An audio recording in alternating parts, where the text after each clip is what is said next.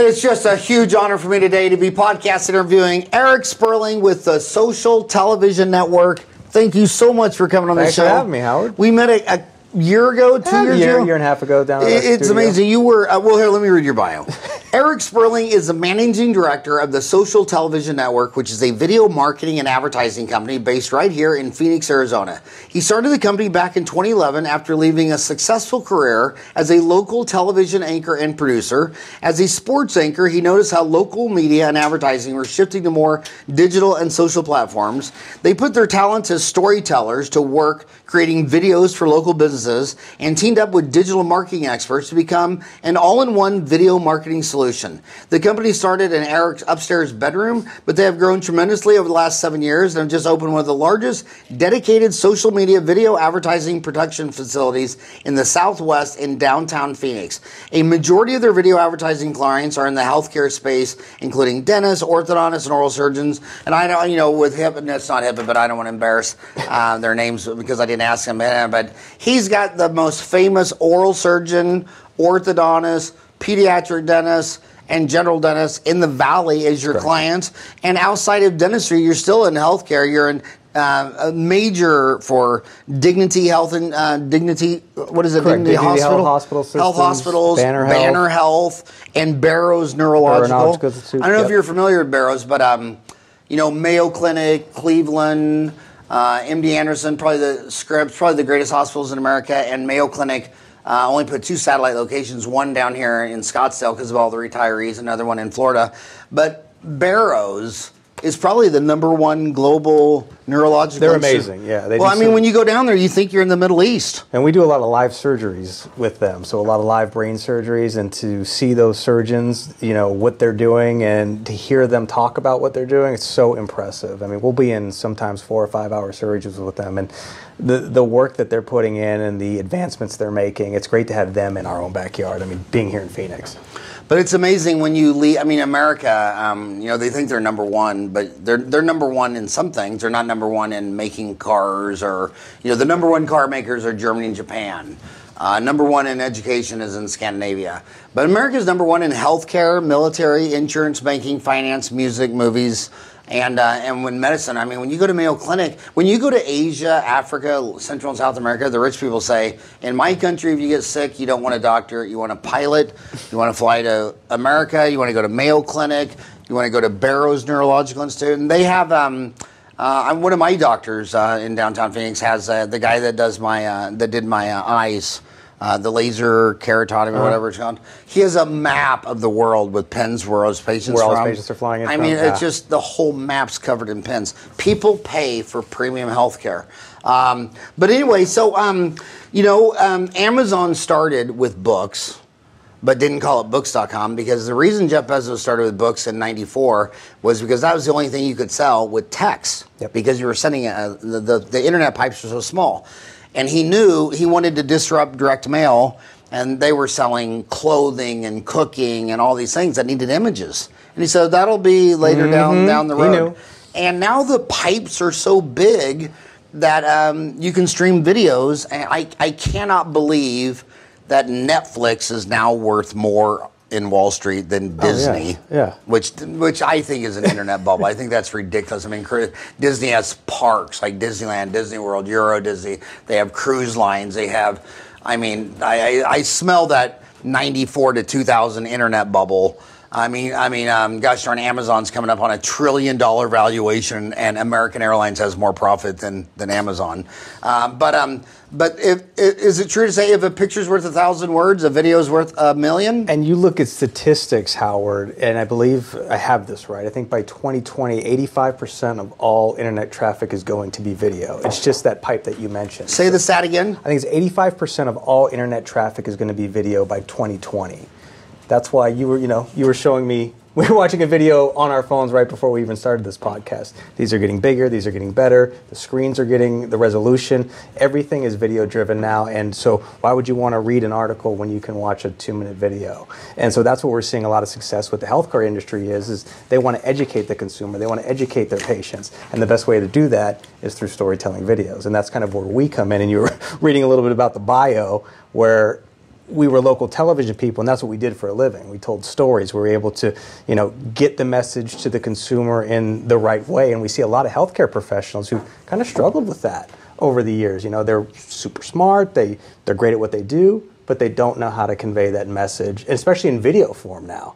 And so we help them do that. So we create different styles of videos for them, like what we're doing right now. We're having an educational talk about video marketing. And then we'll create other videos, the one you just watched, and we can mention by name for the Dental Brothers, where it's a little bit more of a storytelling, including testimonials and what they do for their practice.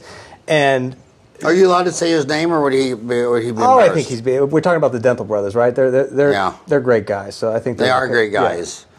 Timothy, do you pronounce it Shafe? Shaft? Who's that? Oh yeah, that's one of the things. He's not one of the brothers. Yeah, they have Oh. Tal and Dan Gaffney, who are the brothers, and then Tim is another one of the dentists over there. Is that that's not one of the brothers? Though? no, that's not one of the brothers. Okay. It's not one of the Um, dental brothers.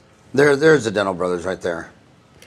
And there's a Dan great Gaffney and Yeah, his brother Dan Tal Gaffney. Which one's uh, the older? Uh, I think Dan is the older one. And I'm if you tell him you said that. watch, Just the picture.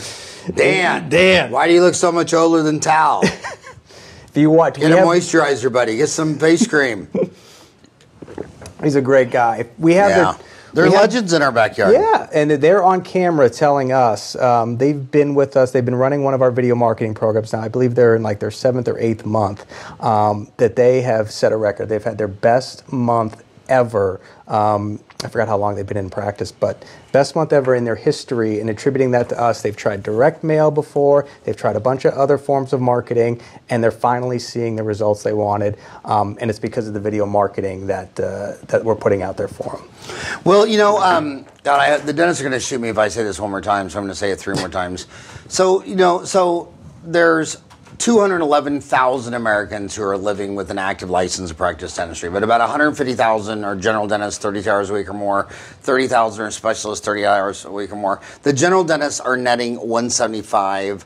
The specialists are netting 330. Um, and a couple of things you see is, well, the general dentist, they won't even spend 3% of collection on advertising. The orthodontist spends 6% all day long. That's why they net 330. Um, another thing is that um, the general dentist, you call them and they can they never have a room to squeeze you in or an emergency.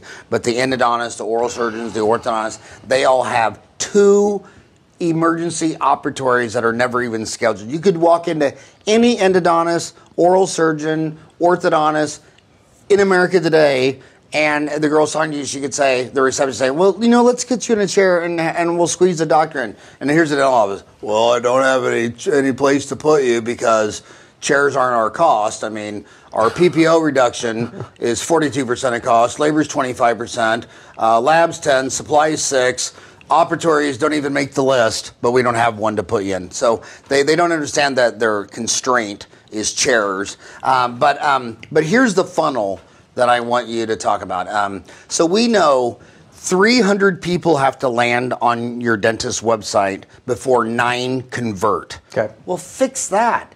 300 and only nine convert. And, and you go to that website and, and you have a mugshot as opposed to a video? Are you kidding me? A video would be 10 times better. And then when nine call, the untrained staff can only convert three to come in. And then the three people come in with just a cavity. We're not talking bleaching, bonding, veneers, or fancy, just a cavity. They only convert one to get drill, fill, and bill. And that's how they get to collecting $750,000 to take home 175 because that one filling, three had to come in. For three to come in, nine had to call. For nine to call, 300 had to land on their website. It's like, dude, if you could fix any part of that funnel, you'd be making the money the specialist did. Just get an extra operatory. Just spend more money on marketing. But what I want to focus on you with is um, um, it's 3% of the people who land on the dentist website, of all the experts that have tracked it. How can you get more than three out of 100 people who landed on your website to push a call button That and convert to a, a great question, Howard. And one of the, again, big keys to success we've seen across healthcare as well as the dental clients we have is something I'm sure a lot of dentists out there are familiar with called retargeting. So you just mentioned the amount of people visiting a website. Okay, my homies don't know what retargeting Okay, is. retargeting They're is the ability to send content out to anybody that has recently been on your website. So what we will do is we'll put a tracking pixel on your website. And so when those 300 people visit the website, the next time they pop on Facebook or Instagram or YouTube or one of the most popular social media platforms out there, they will see a testimonial from your practice. They will see what we would call a tutorial or what you can expect from your first visit. So we are closing that conversion gap. You mentioned what can dentists do to, at any point of the funnel, get more precise and more consistent, and that is one of the keys to success. I would that would be the first place I would look, especially if you're generating a high amount of web. Like 300 is decent web traffic. If you're getting that a month and you're only converting three. The key is to stay in front of those 300 people who have visited your website. I mean, it's basically like Okay, but but but explain. So so um, 300 people land on the website. Mm-hmm. They're, they're getting three out of 100 website landings to convert. Because you're also- so so th- those 100 people land on your website. Three convert, but you're t- retargeting. I'm supposed to put a cookie on my website. Mm-hmm. correct. So when they start searching other places, when they that well, that, that cookies person on there. when that person leaves they're, they're doing their research right they're, they've checked out three other practices okay when they jump back on their smartphone whether it's that night or they're going to go to facebook or they're going to go to instagram or they're going to go on youtube Oh, they're going to jump on one of these social media sites your video is going to be there you, and not only just you, not just a video, a storytelling video, a video that creates engagement because we don't just want to advertise to consumers. We want to tell your story to consumers or potential patients. So that is a very critical part in the patient journey. I'm taking notes. I'm not texting. yeah, yeah, are you texting? no. What are you texting? You texting your son? No. So I um um so so and it's a very easy thing to do. It's not a not a hard process. It sounds complicated, it sounds techy, but it's not. So how how does okay? I know my dentist. They they love to take courses on bone grafting and implants Yeah, and what is- design. what is how does retargeting how does about? he know? How does she know if she has cookies on her website that are being retargeted? How, would she know that? Yeah, so uh, you got to have a web developer, obviously, or somebody who's built your website, and then someone like myself or another, you know, somebody who's in charge of marketing to send you what is called a tracking pixel, whether that's from Facebook, whether it's from Google. Um, they all have, LinkedIn has tracking pixels now. And once those are installed on the website, your tracking pixel is now active. And it gives whoever is creating the content for your social media sites the ability to stay in front of people who've been to your website. So they Does should that make sense? I'm sorry. Yeah, so they should just- specifically ask the, their web developer, do, we I- have yeah. cookies on our dental website for retargeting purposes? There would have to be a. You're right. There have to be a retargeting purpose because you don't just want a cookie there and, have, and you're not doing anything with it. I mean, I'm surprised I don't know that because I love cookies and that's why I'm fat. In fact, the Cookie Monster is my idol.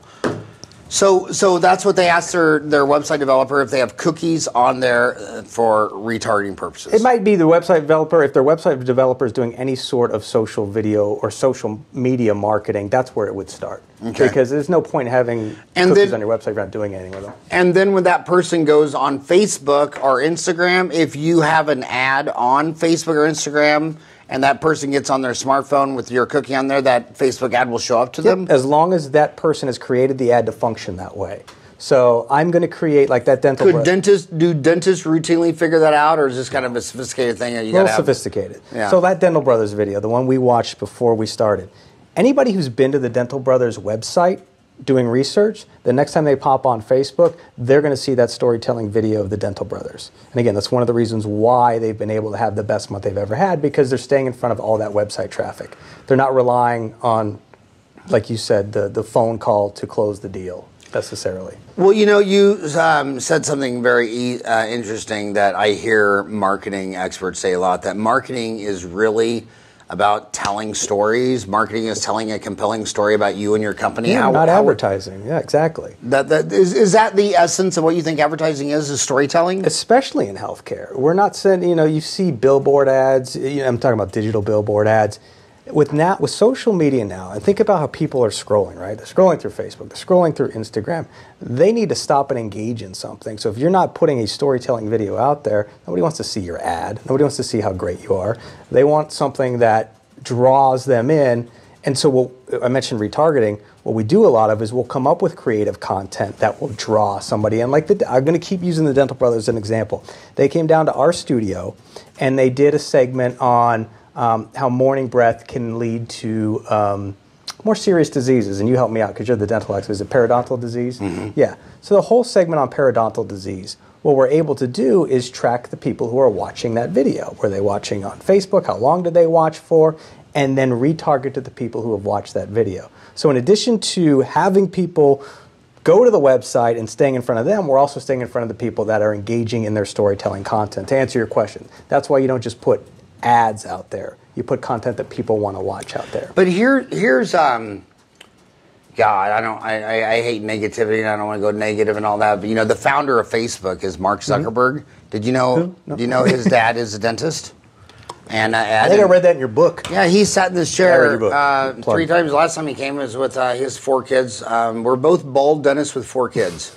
One of his kids started Facebook, and one of mine is in jail and wears an ankle bracelet. And uh, I'm just kidding.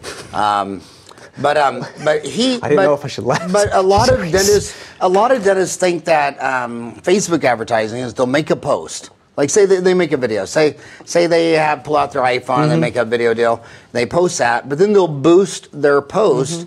But a lot of things I'm reading is that when that when Facebook says, "Oh, you boosted your post and you had five thousand views," you minded that and like almost 90% of them are like under six seconds long, which was really uh, scrolling. And, and the things I read about that, and I'm like saying I don't want to trash Facebook, but those metrics are designed to make you buy more boosted yeah, posts. absolutely. But I mean, if you have a three minute video and almost all your views are under six seconds, no one watched your video. They were just Well, that's the key. So if it. you put in I mean, have you heard this controversy about Oh, absolutely. their video metrics? Yeah, I mean that's why they do. You know, you look at the view counts, and that's anytime somebody's watched for three seconds or longer, it's you know it's counted as a view. Three So- sec- uh, three seconds is how long it take your thumb to scroll over it. yes. So And, and if they were, and they were really. I mean, I, I think it's an ethics issue.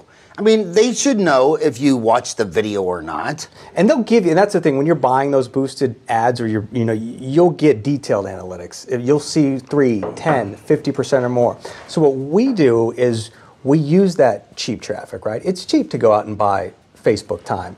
So you don't necessarily want to stay in front of the people who've watched your video for three seconds. You want to stay in front of the people who've watched 50% or more of your video. So I don't, for, for dental practices, for any healthcare practices we're marketing, if we're sending out and we get 100,000 impressions, we don't care about the 70,000 that have blown right through with a three second ad. We want the people who really engaged in the video. Did they watch for 50% or more? Those are the people we want to stay in front of. So you can take advantage of buying cheap traffic at the top of the funnel and then staying in front of them with the more storytelling content. But cheap traffic, it sounds so much like cheap trick. So that Great to me, that would be a, a Yeah, great thing. Flame. Rock and Roll Hall of Fame Yeah. from Missouri, buddy. Um, um, but when you're We could talk when music, you, too, When you, you said watch fifty percent of um, the video, but what's the sweet spot length of a video? I mean, should a video be? I mean, how how long This is, are this, these videos? this is the great debate, right? How Yeah. long should a video be? It depends on where that is in the funnel, too. So, what we've seen is if, for example, when we're creating a video for, let's say, a cancer center, that video can be five minutes long. If you are researching cancer, if you've got a loved one with cancer, you're going to watch all five minutes of that video because you want to learn everything you can because you're doing your due diligence. If you're trying to grab somebody's attention on Facebook, it's going to have to be shorter. Um, if you're creating something that is very educational, like a tip video, or again, like back to the Dental Brothers and their periodontal disease, we do those for two minutes. Those are two minutes videos. Two minute videos. videos that, that last on Facebook. Do we need to stay in front of the people that watch for 20 seconds? Not really.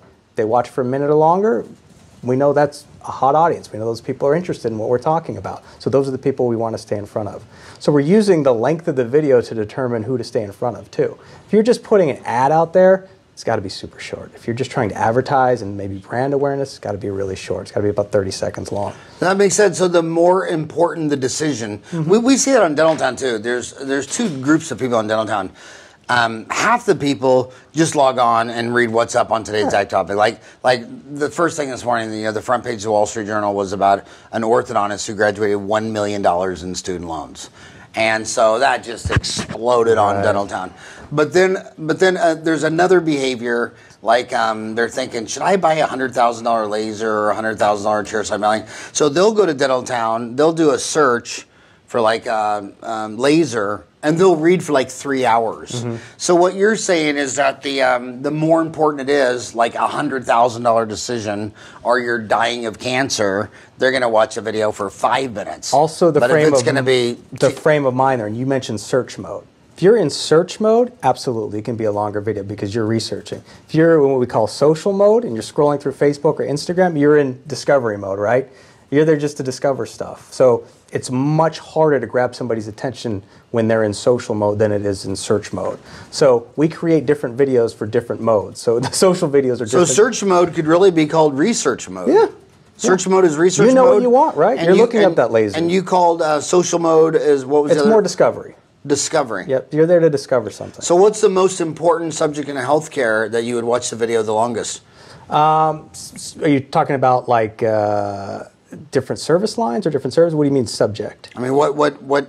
I mean, you're in. You're you know seventy percent of your business is in healthcare. I mean, dentists, physicians, banner, neurological. right. right. I mean, I imagine if I had a spinal cord injury on my one of my kids. Mm-hmm. You know, uh, hit himself on a trampoline or swim pool. I mean, should I? You'd be watching those videos as long as they were. Right, exactly. And you want to watch testimonials. You want to see what those patients are saying about that doctor. So the point is, when we're trying to figure out in social mode and in search mode, social mode would be a video. Let's just use go back to cancer, liver cancer, for example.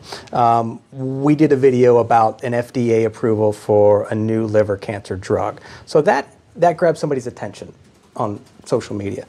In the search video is much different. The search video is about the actual program itself at the hospital. Like what technology do they have at the hospital? So back to your question about subject, when it's when you're in decision mode and you're researching and you go, okay, this is this the cancer center for me, or is this the cancer doc for me, or is this the dentist for me, or the orthodontist for me?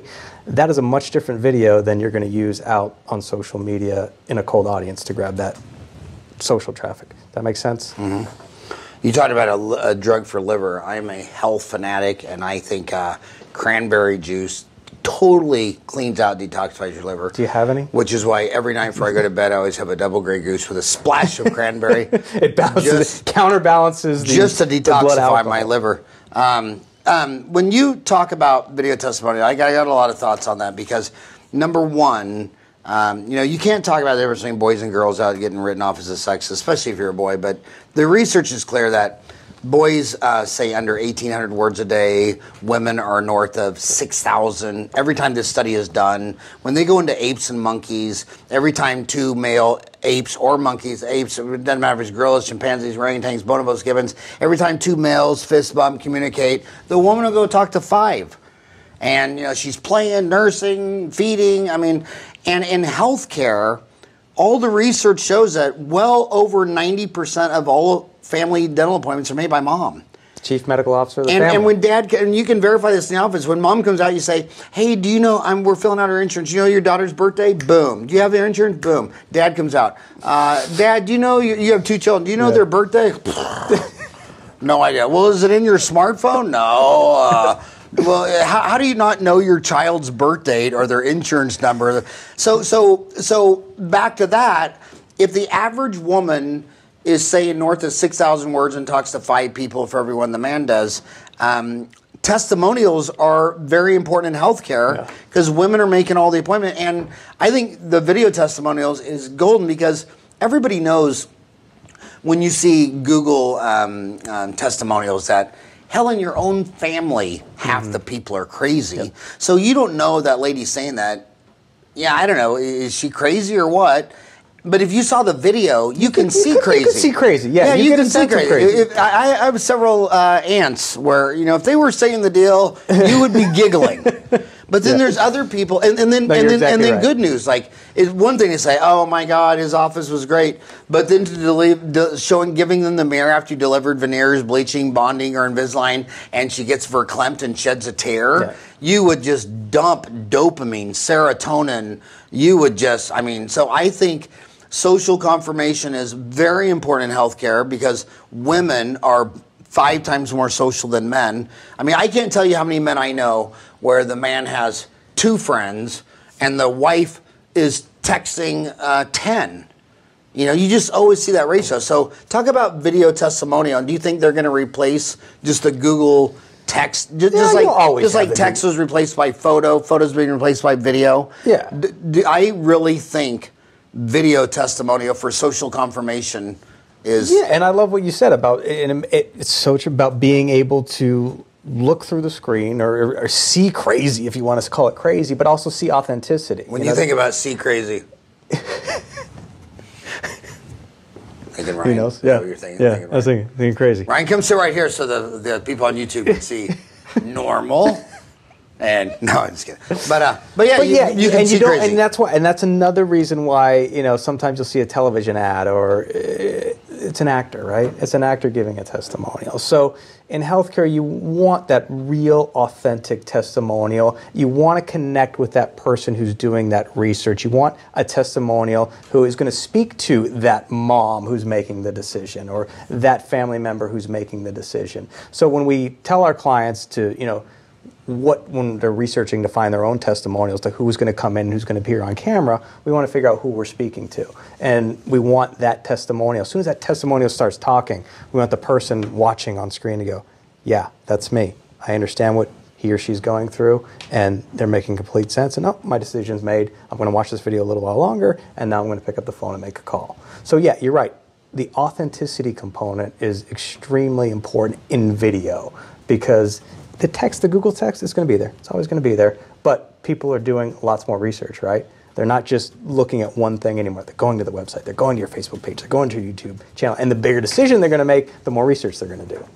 And when I was little, only rich people could fly, or you work for big corporations or government or whatever. Well, maybe all just- now these people are, are making amazing websites, these complicated procedures like all in four dental implants or cosmetic. And people are saying, well, you know, I live in a small town in rural America. I think I'm going to get on Southwest Airlines. It's only $230 round trip, and I'm going to fly down there. Right. Because I don't trust that my doctor from this small town of 5,000 that when you go to the website is like one page, doesn't even have a picture Right. of them. And it says, oh, yeah, I could do implants. And I, I lived through this um, with, a, um, with a friend who wanted to have a cosmetic uh, surgery. And um, and went to several went to three doctors and called me and said, "Come on, you know all these doctors. Who, who's the best?" And there was a female surgery, cosmetic surgery, and I thought, well, well, I don't, I don't really know. And so um, she asked me if I go with her to these two consults, and I went to one in Tempe and one in Scottsdale, and their brochure for this breast augmentation, it was a brochure that they bought from the American Academy of Cosmetic Surgery, and and the office looked wow. So what I did is I so I got on the phone and I started calling around the doctor. They said no. So we went down to his place, and his place said, well, there's only four types of breast augmentation, you know. And and he looked at her and he said, okay, you're you're this type. And then he pulls out a big screen. You sit on the couch, and there's before and afters, and every person on the left looked just like her, and every person on the right looked just perfect. And so when you're selling the invisible, you know, when you go to sell an iPhone, well, I trust Apple. Mm-hmm. When I go buy a Hershey's chocolate bar, I assume Hershey's or Dr. Pepper or Budweiser, uh, they all figure it out. But in dentistry, you're selling the invisible. Mm-hmm. So you're saying that I have four cavities. Well, how do I know if I have four cavities? Yeah. And, and the women don't trust. They they don't trust so much more than men.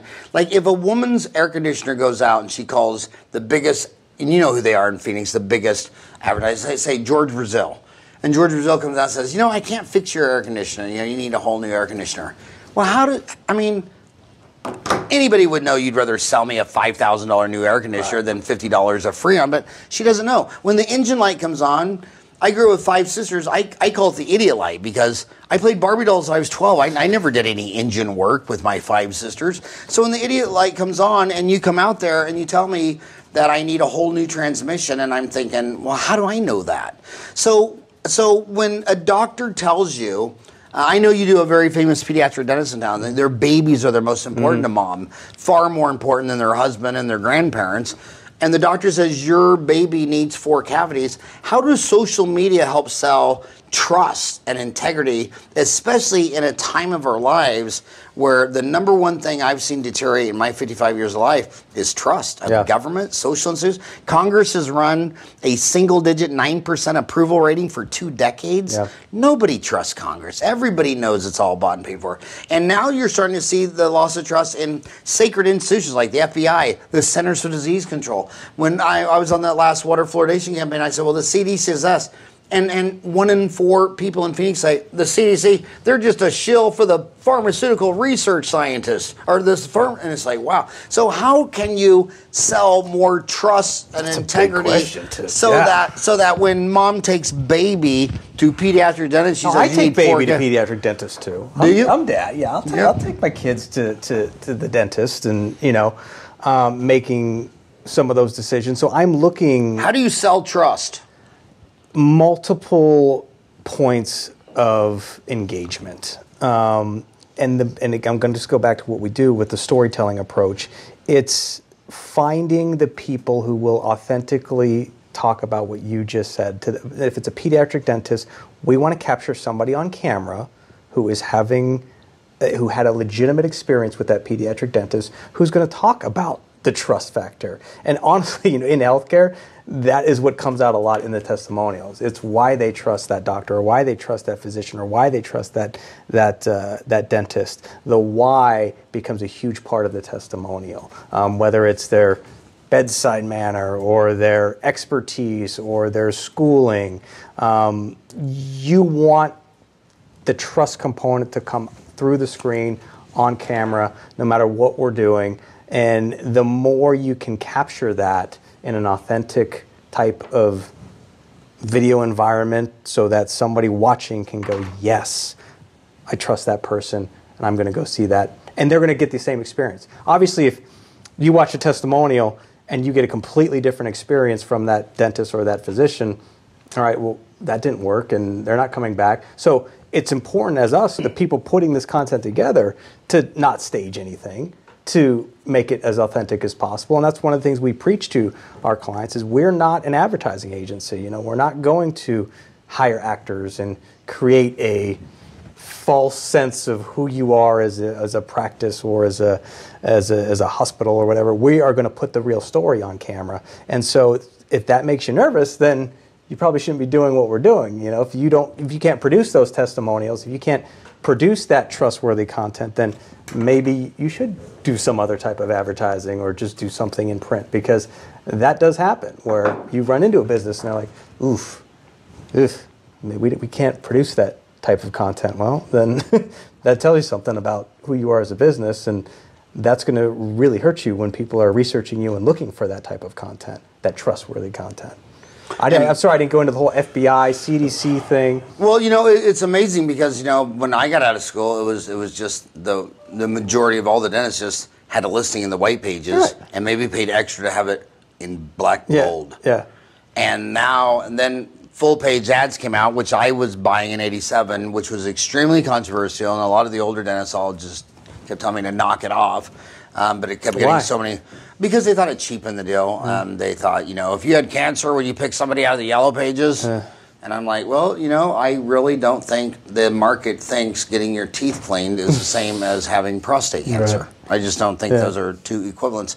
Um, but now, um, now that I mean, this was an IBM supercomputer when I was in Seriously, high school, and so now with uh, the internet pipe so big. Um, and the the moms are researching so much more. I mean, you have to get an A on your website. And and and I'm telling you guys, I get a gazillion emails. Thanks for always emailing me, howard at dentaltown.com. Uh, please tell me where you're from. Tell me how old you are, what country you're from, your website if you got it. And um, my gosh, um, so many of them. You know, if you, if you if you email me, I just take off your blah blah blah at stntv.com, just put a www and go to their website. So I look at dentist mm-hmm. websites all day long, every day, and half of them are a joke. And I know my dentists, I know them. Five years ago, they were at a dental convention, and some guy says, Hey, I'll build you a website. So he came Yeah. over there, did the right thing, gave you a credit card, built a website five years ago. I was on three today that still have Flash. Yeah, so what, it, what I do is I go on those same websites Oh. and I look to see is there video, is there a tracking pixel, because I can see that, and so I do the exact same thing. I'm researching people to see how far. Will you research mine, today'sdental.com? Yeah. Do you want me to do it? Absolutely, Okay, man. I'll look and see what you Um, got going. And um, um, but in your experience, what percent of give letter letter grade A, B, C, D, F? Because my homies all made straight A's to get into dental school, med school, or law These school. are all your homies, okay? Yeah, but, but what would you give these A students and undergrad who made it into dental school? What would you give their website letter grade when you're looking? If you looked at hundred dentist websites, what um, would the distribution You know be? what? I, you you mentioned you know you see some that are flash. I I'm pretty pleased with a lot of the websites I'm seeing right now. From maybe I'm just researching Give a a in percent breakdown of A, B, C, D, F of what you're seeing. from dentists, just dentists. Yeah, just So. This includes orthodontists. This includes Yeah, an orthodontist is dentist. Now he doesn't know that. If you go up to an orthodontist and say, "Are you a dentist?" He'll say, "No, I'm an orthodontist." You're like, "Really?" Because on LinkedIn it says you went to dental school and graduated the DDS. And he's like, "Oh yeah, but I try to forget those." This. Then I went on to become an orthodontist, and now I walk on water, and I don't talk to the little people. But I've only met one oral surgeon in my life. We were climbing Mount Fuji, and we were in Tanzania, and the guy there were three dentists and an oral surgeon. And the guy, um, the guide turns to the oral surgeon. He says, uh, "So are you a dentist?" And he said, "Yeah." And I thought, "Oh my God! I just heard an oral surgeon admit that he's a dentist. I've never witnessed that." he laughed so hard; it was so damn funny. But anyway, but yeah, just dentist, dental specialist. It's a C. I mean, it's The it's- average is a C? Average is a C. Yeah. So the presentation of the website isn't bad. It's the functionality that that needs improvement, right? Whereas there's no video on the homepage. You know, I'm there. Keep me there with a video. Let me zero in on something. Put that video right on the homepage. There are some dentists I've seen out there who do a good job with landing pages too. Where And my homies don't know what a landing page is. so a landing First page, it was redirect. Yep, yep. Now No, it's landing page. retargeting. Retargeting. Retargeting. retargeting. First it was retargeting. Now it's landing page. So a landing page. This has something to do with Ann Landers, I assume. Exactly, yes. No.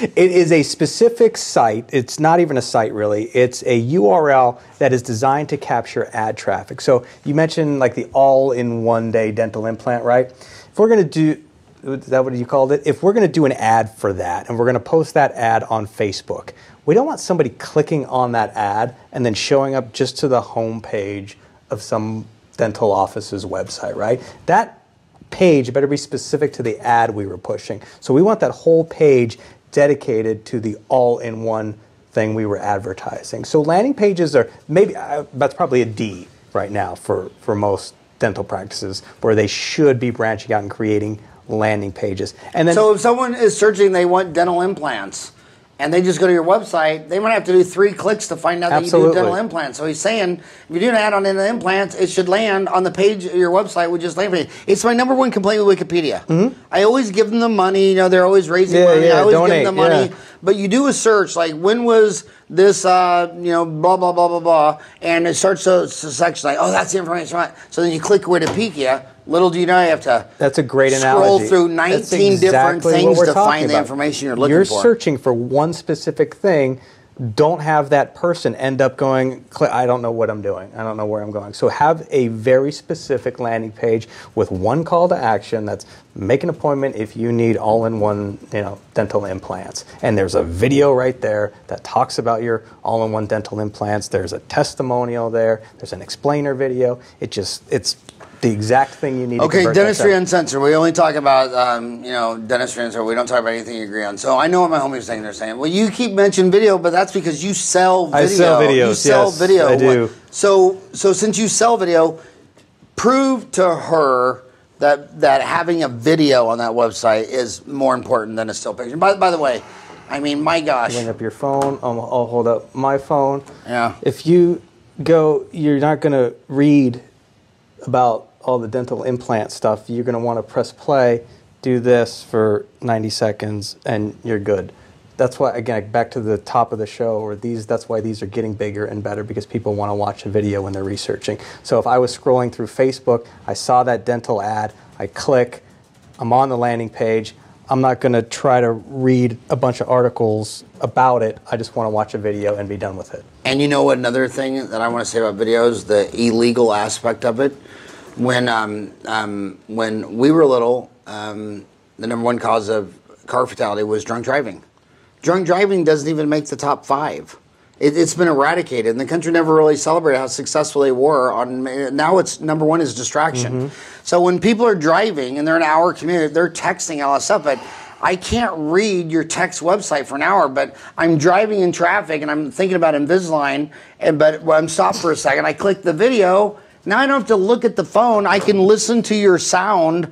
I can listen to that. I can you can hold that in driving. I don't know if you should be hearing about- promoting Well, I- driving and watching I video. don't. I mean, I, appreciate it, I- I- but and I don't. I what I do is I um I turn off my phone. I, I really do because we're such monkeys. I mean, you'll be driving down I-10, 65 miles an hour, and you hear a ding. Oh my gosh. But You your monkey yeah, yeah. walnut brain's like, boo! I can look I heard it. a ding. No, I turn mine off because I'm such a small walnut brain. In fact, I did that 23andMe.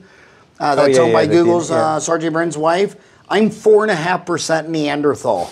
I used to think I was dumb, but now 23andMe has proved to me I'm four and a half really percent. No, I, I am. Yeah, I, I'm 4.5 percent Neanderthal, and um, and uh, no disrespect to Neanderthals, uh, but But you're right, anyway, you look around. You're there's four out of the five people around you are on their phones while we're while we're driving. That's why that's a different I, it- conversation. you know, I did three Ironmans in a, in a row, and the reason I stopped doing Ironmans is because part of the Ironman is a 112 mile bike ride.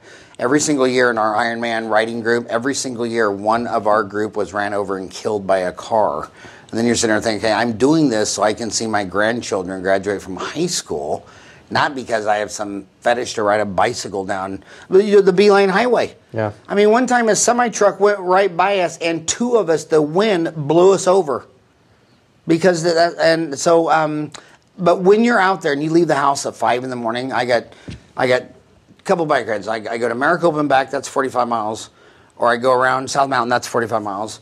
Or i go to the fountain lakes and back that's 90 miles so we leave at like five in the morning because it, it gets hot. You know by 10 o'clock it's 100 degrees. Every third car you see this blue hood they're just mm-hmm. driving down the street like that and you're like man i am one facebook post away from just being dead. Mm-hmm. So you have to move your exercise inside you know i, I joined lifetime fitness because I, I don't want to get killed. And the first time I did the tour of Mesa, that 70 mile bike ride with the uh, that great endodontic group. What's the great endodontic? Jason Hale, Ed Carlson, um, yeah, Jason Hale. We've done three podcasts with those endodontists, and he used to sponsor um, uh, the dentist uh, on the 70 mile. First time I did it, a woman in our group going through an intersection, an 80 year old lady, T-bone right over, killed her. Didn't stop, went to the next intersection, T-boned a truck and killed that guy too. and they, they think that she might have had a stroke or she blacked out or fainted or something. But um, how did what? How did we? we get there How did, how did from- we get there? What that the hell? was Oh, we were amazing. talking. We were talking about videos on. we were talking about videos. Somehow you wanted to watch a video while you were driving, which I no, don't recommend no, doing. but they they'll listen to it. They can video. listen, yeah, yeah. And, and listen I- to- somebody's hey, listening to this right many- now in their car. You know how many dentists have told me that um, they don't even listen to this podcast on iTunes. They Yeah, they listen to it on listen to. YouTube. Yeah. So they open up the Yep. YouTube video, but they're they got an hour. I do it all the work. time. I listen Yeah. to I listen to YouTube. So I think, um, and then what's also sad is the dentist. You know, I love the dentist, the fact that they love being technically excellent in dentistry. Um, but then when you ask them very important questions like, well, what is, how many people land on your website each month and how many of them convert? They don't know. Mm-hmm. Yeah.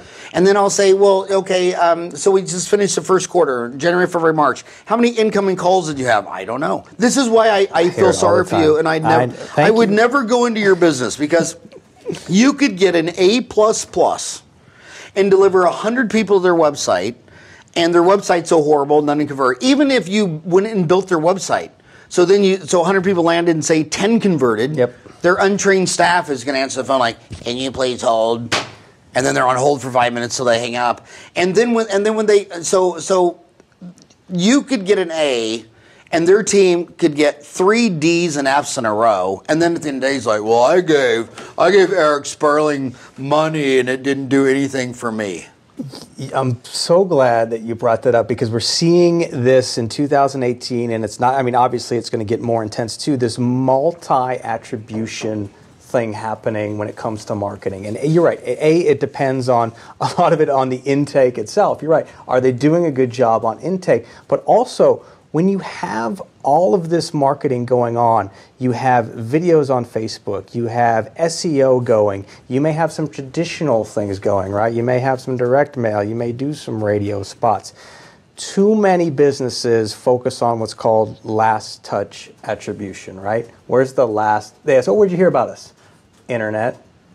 Where, then ask, "Where's the first place you heard about us?" Whoa, it's a different question, right? Where's the where did you discover, where did you first learn about us? So most people when they are filling out an intake form, they will just mark in it because they probably went to Google to find either the phone number or the location, and that is where that practice is going to put a majority of their marketing dollars because they're saying, "Oh, we got so X many clients or patients because of the pay-per-click ad we did or the SEO component we're putting in." But they're not looking at the entire patient journey. So to your point earlier, that's exactly it. It's I gave so and so X amount of dollars. How do I measure it at the end of the day? If A, we have an attribution issue, but then B, we're not properly handling our intake, right? And to be honest, it's not, you're never going to get it right. I mean, you're never going to get it perfect where you're going to have a sit down interrogation with a patient, right? Tell me, where'd you hear about us? And let's talk about all the ways that you may have, I mean, you just, not going to do that. You're going to have, animal form and they're going to circle Facebook, they're going to circle TV, they're going to circle radio. But what you have to do is start understanding and looking for overall lift in your business to say, wow, everything that we're doing or we've been doing is having a major impact on our bottom line. And to your point earlier, do they know that? Are they savvy enough? Are they looking at who's who's monitoring that? Is that an office manager? Is that the, the, the dentist themselves? You know, where is that business mindset coming from? And I hear a lot of doctors and dentists will tell me they wish they went to school for marketing. they wish they would boy, I wish I would have done marketing in school because these are the questions that haunt them when they're going over their books, they're going over their marketing, they want to understand everything that they're doing. Um, so multi-touch attribution now is a really big deal. It's figuring out what avenues of marketing are the most effective for me. And there's different ways to measure each one of them. I mean, obviously, if you're doing, I'm going to go back to video marketing, you can see how many people are watching your videos. If you're doing billboard ads or TV ads or print ads, sometimes that's a lot tougher to figure out did people come through my doors because of those ads? Um, but they all sort of support one another.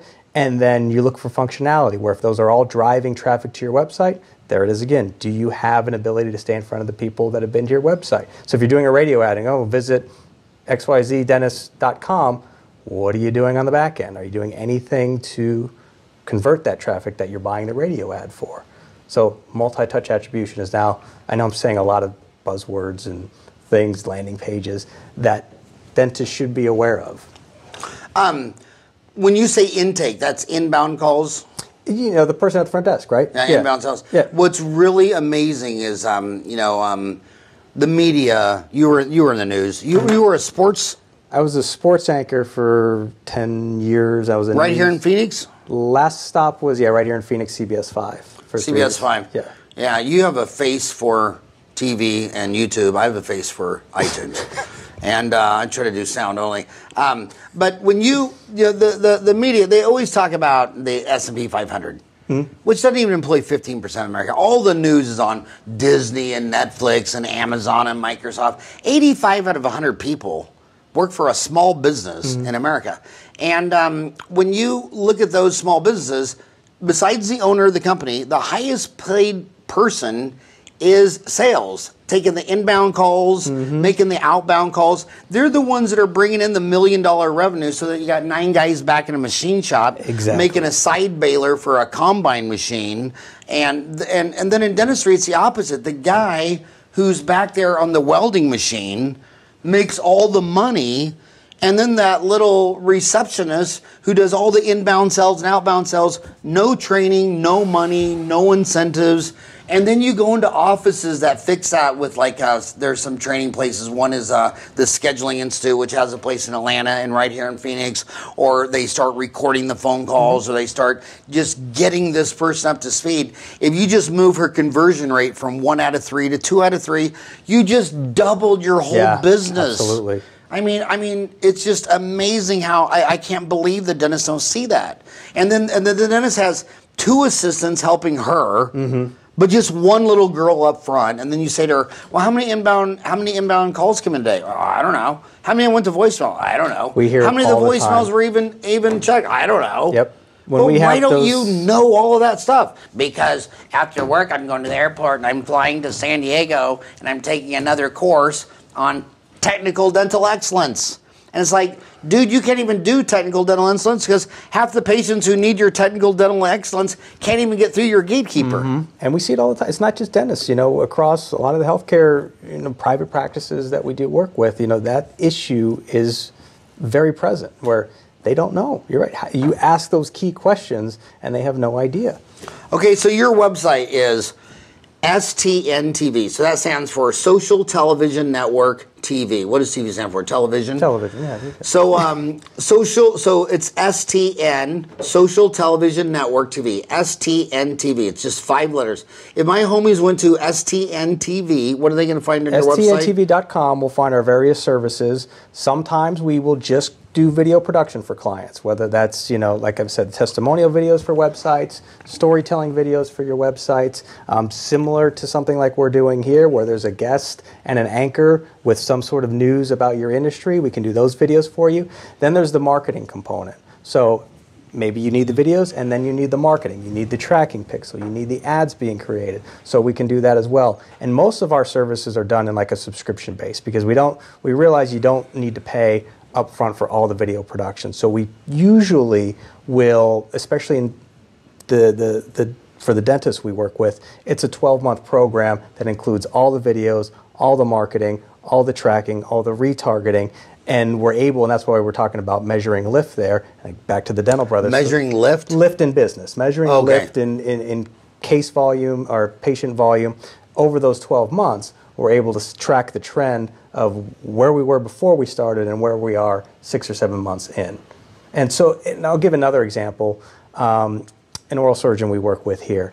The uh, most famous one in the state. They have. I agree. I agree. I agree. Yes. Uh, and most credentialed. And I mean, he's, yes. he's all that a bag of chips plus a box of Twinkies. When we sat down with their marketing people um, a year ago, or not a year ago, it was maybe like three or four months ago, we were analyzing the first 12 months of their campaign, we realized we generated almost a million dollars in new business for them, um, which became a, a, tremendous return on investment. It was uh, you know somewhere in the 40, 50 to 1 return on investment range. And that's what we're looking for. We're looking after the program, we're looking to see where your lift in business was, what was the return on investment, and what can we do to continue that trend of success because what you're seeing a lot with social media, and you mentioned this before, and the trust factor is once you start building a foundation of trust, those expert videos keep coming out, the testimonials keep coming out, that stuff starts to balloon.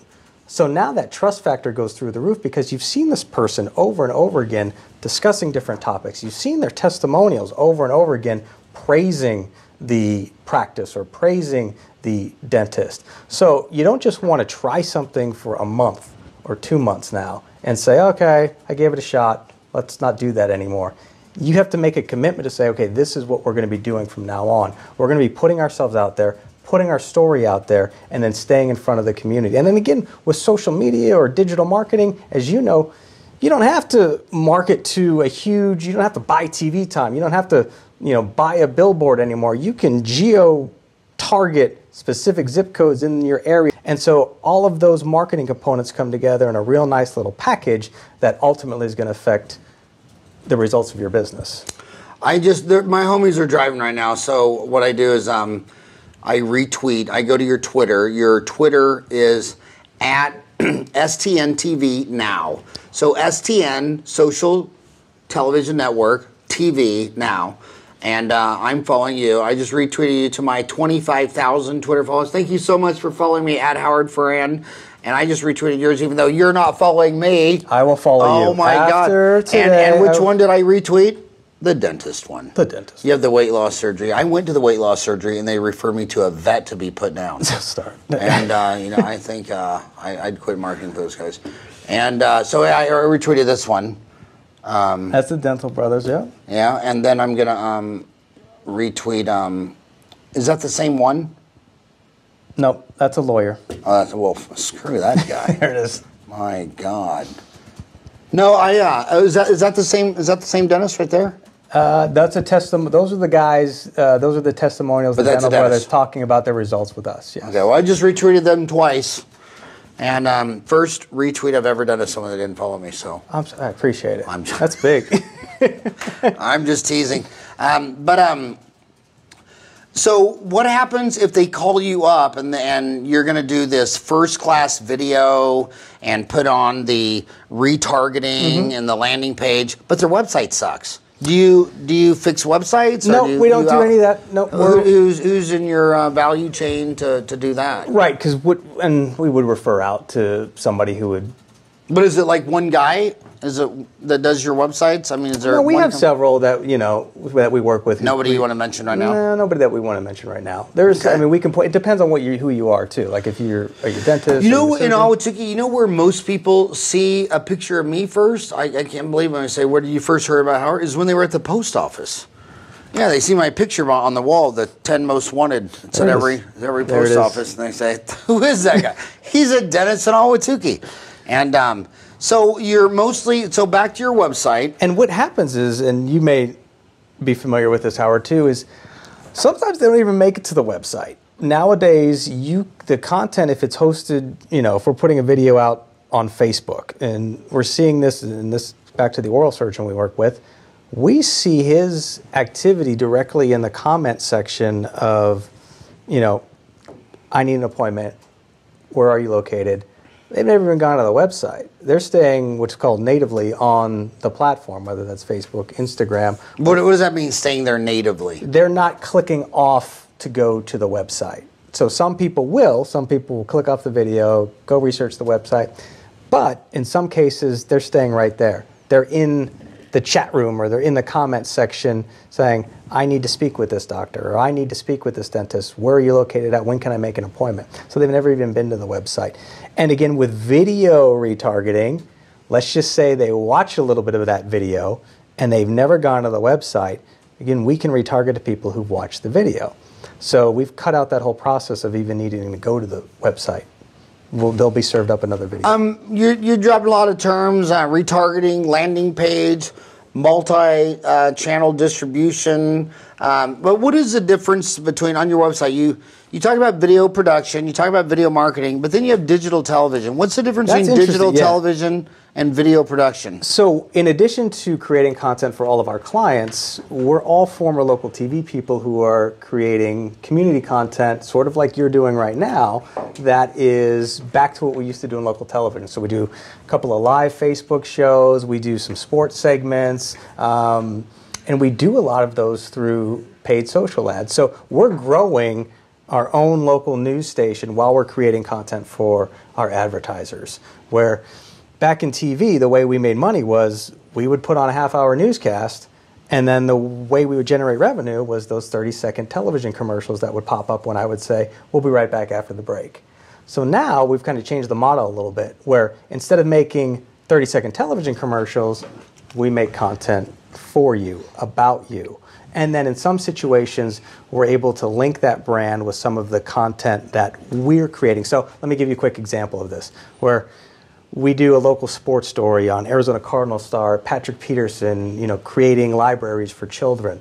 Well, that segment can be brought to you by X business who works with us. So they're getting a little extra brand recognition for something that, yeah, the content's not about them, but 100,000 people have watched this story on Patrick Peterson, and there's that brand that we work with. Um, similar to what we used to do in TV, this segment is brought to you by X business. So that's the digital digital television part. And then there are some organizations that are creating their own shows with us, their own Facebook live shows or their own weekly series with us. They have enough content that they need consistent shows. Again, similar to what we're doing here, but for them. So we would make the Howard Farran podcast show. Um, It's amazing. You talk about storytelling, building trust. Do you remember um, Rick D'Amico? Yeah, Fox. Uh, 10, Yeah, yeah. when he, he just retired after Yeah. 30 years. Oh my God. I mean, I can't tell you how many little old ladies were sad for weeks. And I remember, I, I mean, it, it was it was crazy. It's like they that that guy was in their front room every morning for three decades. And I mean, when he went off the air, I had little old ladies that just couldn't watch morning news anymore. Yeah, I mean- they, they they missed him like it was the loss of a family member. Local TV was we had our golden age, right? I mean, it was 80s, 90s. I mean, you know, the Anchorman was based off. It's kind of making fun of how big the local TV people really were in the 70s. Will Ferrell? Yeah, I mean, it's, it's, it's poking fun at how big of a role we really did have. And then when I got into the business in the 90s, you know, the internet in the early 90s, the internet really wasn't there yet. So I really got to see firsthand how the internet really took away from our attention. And then all of a sudden, here, early 2000s, social media came into the picture. And boy, if we were really struggling with the internet as our competition, once social media came about, that's where we really started to suffer because people stopped watching us live at 5 live at 6.30 everything suddenly was and then dvr everything's on demand now so i always use this as an example i can remember it was a 10 o'clock newscast and i'm reading the teleprompter you know giving fans suns highlights and remembering that that game was 10 o'clock in the morning that day on the east coast you saw all the highlights you needed on your phone. We weren't a service anymore. You didn't need me to bring you the Suns highlights. And then I would toss the commercial, right? Oh, we'll be right back after the break. So if nobody's watching me, who's paying attention to that poor local advertiser who's paid a bunch of money to get a get a commercial on in my sports break?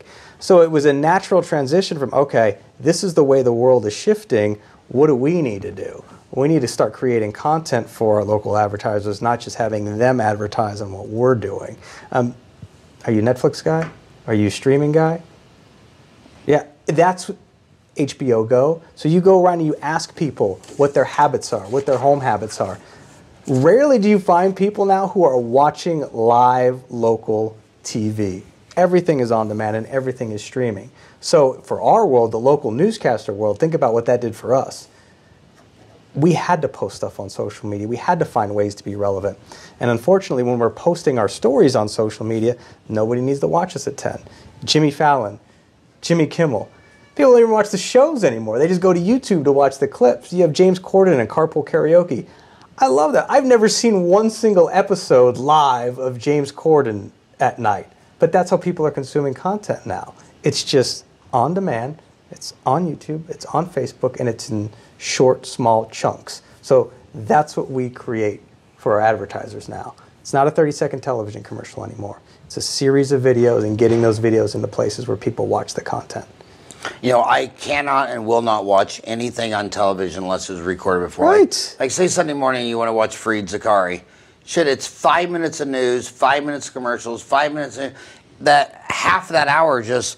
And, and it's such non-targeted. I mean, Mm-hmm. they're not targeting a 55-year-old man sitting there to show me restless leg syndrome and, and some wheelchair lift up a stairway and and I mean, the, the, there's no targeting. Um, it's um, um, but if I but yeah, I, I um, watch uh, my, my news. My main news is at uh, HBO um, Vice. Vice. Yeah. And uh, and those guys always claim about how you know it's no advertising. Are you out of your freaking mind? I have to record that. The first five minutes is just house ads, other shows, HBO bullshit. I mean, HBO um, an ad your in-house ad is the same ad to me. I mean, if I wanted to watch all that other bullshit you're advertising, I'd be watching that. But I have to actually record it because I got to speed through all the crap that um, that HBO ads are. But you're, nobody's going back to the old way. You're, to your point. I So, so what do you think's dead? I mean, obviously, in our lifetime, phone books died. Right. So follow the pattern, right? Phone books, print, same. You know, your and local TV was for us the next big thing to go. Local TV. Local TV, the the the ability to reach people live and on demand, just it we don't need it anymore. So they're struggling. They're trying to come up with different ways to stay relevant. Um, and again, back to my point of sort of cannibalizing themselves, where if they post stuff on social media, if they give the content on social media, nobody needs to watch live at five or six thirty. So you run into that thing of, hey, make sure you join us live at ten. I want it now. I'm not going to stick around. Yeah, you know what? We're also moving into two different um, worlds: um, the affluent and the poor. Because the affluent, like um, Ryan, what did you buy me on YouTube? You subscribe to me, so I don't have to listen to any of those ads on YouTube. YouTube Red. YouTube Red, and then there's also a YouTube TV, isn't there? Yeah, I think yeah there is. I don't know anything about it. But but you know like um like Spotify, you know they have the subscribers and then the ad driven ones and and they have more subscribers than than ads the, the free ones that have to listen to an ad because it's like I read a deal um, on Facebook. I think it was from Professor Scott Galloway at NYU School of Stern that said that the average um, ad revenue per Facebook user was like something like three dollars a month. Yeah. And they're like, Facebook, why don't you do a subscription revenue? I'll give you five bucks a month. Get, what do they give a Netflix? Twelve dollars a month? Yeah, I think it, it goes it incrementally goes yeah, up. but yeah. I, I would give Facebook twelve dollars a month if I didn't have to ever see another ad again. And that YouTube deal, um, I thought, well, do I really want to pay twelve dollars a month just to never have an ad on YouTube? So I thought, well, what the hell? I do? Oh my god, I could never go back. because you every watch, uh, single YouTube video, you got to sit there and wait that five, four, three, two, one skip, and Skip now it's all gone. Oh, so so um, so you think? So what's your predictions? Uh, Ten years from now, um, um, what, what magazines and newspapers? What would you say? That's tough. Uh, well, the newspapers, obviously, you, you, I mean, that ship has sailed. So, I, you, every day you would, I mean, you could do it right now. You can go online and see which are the biggest newspaper chains that have recently shut down or recently closed. Um, radio stations, um, consolidation is happening. So you look at a market like here in Phoenix, where we've had the station I used to work for, CBS, merged with Channel 3. So consolidation is going to be happening. And what we would call, um, you know, when you're airing two shows at the same time on different channels, where local news, you're going to see the same newscast on Channel 3 as you're going to see on Channel 5 at night. Or that's unheard of. You know, we wouldn't ever do that before, but now because of the consolidation thing, you're seeing same newscast on Channel 3 as you're seeing on Channel 5. So what's next? I really don't know. From a you know, virtual reality standpoint, from I just think the Apple TVs, the smart TVs, that's the future. Everybody's going to be an, on an app-based sort of experience in their home. Yes, this is number one screen. You know, they always call this the second screen. This is now your number one screen. The number two screen will be your your Apple TV or your smart TV device. Well, I think people don't realize that if you um, look at your big screen, I mean, 90% of what you're seeing is all the periphery. And if you hold your, your iPhone out in front of your big screen and pull it in, it's not very close, and that covers up your big screen. Right. And um, I would much rather sit on my patio, um, t- take Shark Tank. Yeah. Um, if I go turn on Shark Tank, it's just all it is commercials. I can go out to Google or YouTube, search that Shark Tank episode show, set it right there next to my uh, beer. I mean, I mean my orange juice, cranberry juice cocktail, and watch the whole thing. And, it's dark out. I mean, so it's really. Um, but you know, the scariest thing I ever have seen on the iPad my two-year-old granddaughter one day i was trying to get her to eat and she was on that ipad so i tried to take it away from her. I had grabbed her arm to, to take it away. I lifted her up by her forearm and she was hanging onto her ipad like it was for dear life like if she let go of it she'd be eaten by a hyena My daughter's the same way. Oh we work my on it with God. we, we, it's it's one of those things that you never thought you'd have to deal with, but it's very true. It's you know, I mean, so many so many studies out there that basically say you know the iPad, cocaine, same thing happens to the brain of a, of a child, and there's you know you just have to as a parent take precautions and take the right steps to you know eliminate screen time as much as you can because that experience, yes, the whoa she's gripped. This is a kung fu grip on my iPad. This is not right, and it affects their mood too. Oh, you know, yeah. they, if they're on that thing for a couple hours, you, we can tell. And when we remove it from, you know, playtime or an extended period of time, we see a difference. We really do in the in the in the moods of our of our kids. but you know how you make money with uh, with that addiction when you go out drink with your four or five friends everybody puts their uh, self their smartphone leaves it on And uh, first, uh, Oh, wife, yeah, it's great. First You wife that calls your drinking buddy, you pick up the tab. So you tell your wife, "I'm going out drinking with my boys. This is a serious time. Don't call me." First wife that calls picks up the tab. For the Well, you don't thing. even have to do the call thing. You just have to put your device in the middle of the table, and the first one to grab their device, just out of an addiction habit, first one to grab their device loses and has to pay the entire tab. You see that happen all the time. You can go out to dinner and you see, you know, somebody across the way with. You go out to dinner, you go to Macayo's, and you look at the table next to you. There's a mom, dad, two kids, and they're all looking at their screen. Yeah, everybody is. And Yeah. again, and there's. I don't know how you want to get into you know the philosophy of it or the ethics of it, and the and you just it. It's sad, but at the same, that's where we are today. So, as an advertiser or as as a business trying to get your message out there, that's where people are. You can't ignore that fact. So, what are you going to do to get their attention there? And so when you go to Macayo's and you look down and or you look across the restaurant, you see all those people. If you're a business, you want to be there. You want to have their attention. Well, what it, what it tells me is this: the biggest lucrative businesses are the the addiction business, nicotine.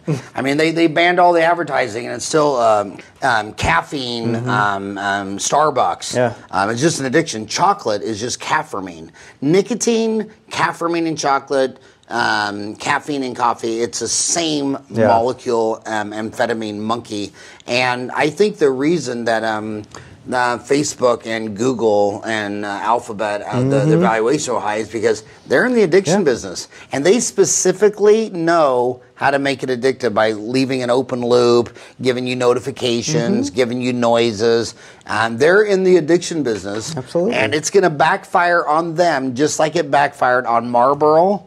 Just like it backfired on cigarettes, they the companies knew they were um, uh, gaming addiction by increasing the nicotine content, and now we know the social media people are increasing addiction with open loop cycles, notifications, sounds, all these things that make your daughter have the kung fu grip. And if they if they don't um, back off, um, and you know who's going to. That's just the pretty color The, the, the, the, col- the, the and, and it'll never come from Washington D.C. because they're just too incompetent. It's always going to come from the EU, who's like the uh, smart brother in the family, and the Americans are the big, tall, bully, dumb one, or a renegade attorney state general. Kind of go back to the Microsoft days, you know. So, um, what's going to really go after and possibly break up Facebook and Alphabet? It's going to be the EU. They everybody on a website is getting all their uh, notifications to upgrade their user deal. And that's not because of America. That's for the EU. That's why on Dentaltown, that's why you got that. Man, we were with lawyers for days and days and days because the penalties are off the charts. But you, but mark my words. For the with, data, yeah. with the social media deal, that um, um, within the next five years, some attorney general is going to have it up to here, wants to make a name for himself, and is going to go after these guys um, because um, it really is um, changing society. And they're changing as we, you know, they're changing as we speak. There's different algorithms and different newsfeed things happening that they're trying to rectify everything that has been done. And we see that firsthand with businesses coming to us saying, "Hey, what do these changes mean? What do I have to do?" And you just have to continue to roll with the punches and follow the policies, basically. You know, Yeah. the the most recent one was Facebook saying, "Okay, we're going to give less weight to businesses in the newsfeed. So if you're a person uh, sharing a photo, your post is going to get more weight than a business who's posting content. And again, that's just another way of saying advertise. If you advertise with us, you're going to see more exposure in our news feed. Fa- Facebook has never been, in my opinion, um, honest or sincere. I mean, I have nine years of college, and whenever they have a privacy update, nine years of college, and I read it, and I don't understand it. Now, I'm pretty sure I'm smarter than the average kid in high school reading that policy. I mean, it, I mean, and then they're always we got it all for all of them, iTunes, for, you know, Yeah. Spotify. They're all going to send the policy 10 Yeah. pages long. Yeah. Um, but um, Eric Sperling, the Social Television Network.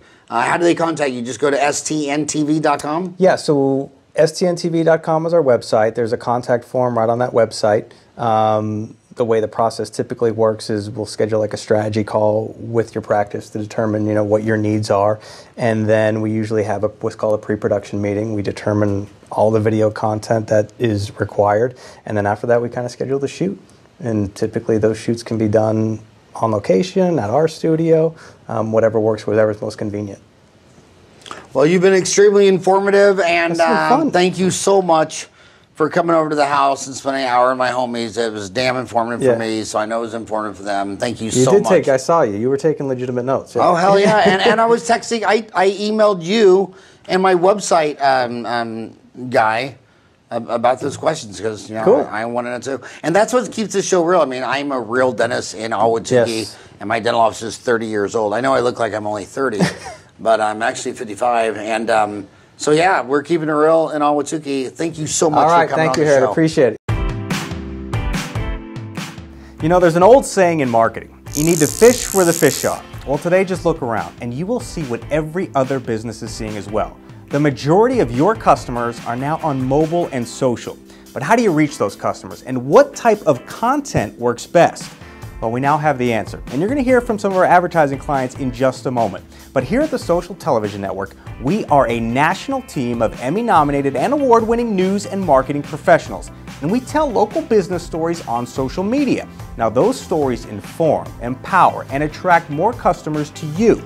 Your business has a story to tell, and we can use that story to help you sell. Now, obviously, we're creating videos here, but you should see the tools we have to tell that story industry leading production facilities, the best equipment on the market, some of the most talented news people behind the camera, in front of the camera, and in the production process. Now, these videos produce real results, but video is just half the equation. Here's the key to the whole thing. Instead of using a traditional television signal, we broadcast your videos to your local market via our proprietary distribution model called Funnel Point. Now, forget crossing your fingers and hoping people watch. With our proven Funnel Point system, we combine the TV content with advanced social media marketing tools. We are funneling the story of your business through the awareness, consideration, and conversion elements of a traditional sales funnel. Funnel Point is what we always dreamed of with traditional television, and now it allows you to grow your business like never before. Oh, by the way, we are a credentialed news organization that continues to grow. All of this creates additional awareness and new customers for our advertising clients. Now, you know social media is where all your customers' eyes are, and now you finally have the best tool to get your message out in front of them. Bottom line, if you want to start reaching your current and potential customers here, you need to think beyond traditional advertising and start engaging with Funnel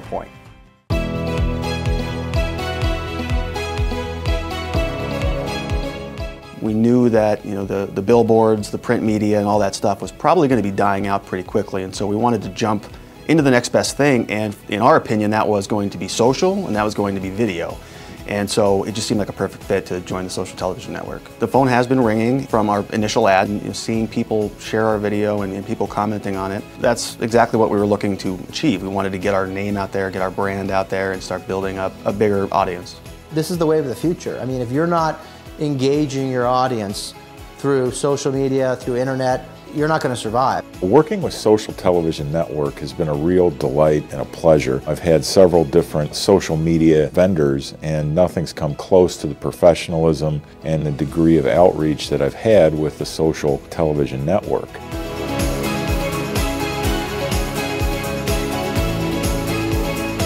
Using social television network, we've seen astronomical results with our campaigns. The beauty of this platform is that it is measurable down to the conversion. We started seeing results right away. We've received many phone calls from our videos that the social television network has done for us. It's been probably the single biggest uh, reason we've grown how we have.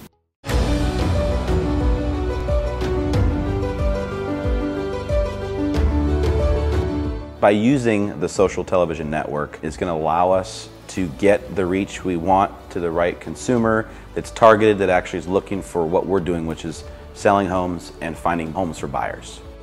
We've had to turn digital and go the internet and do Facebook. We have noticed an increase of calls, so it's been amazing.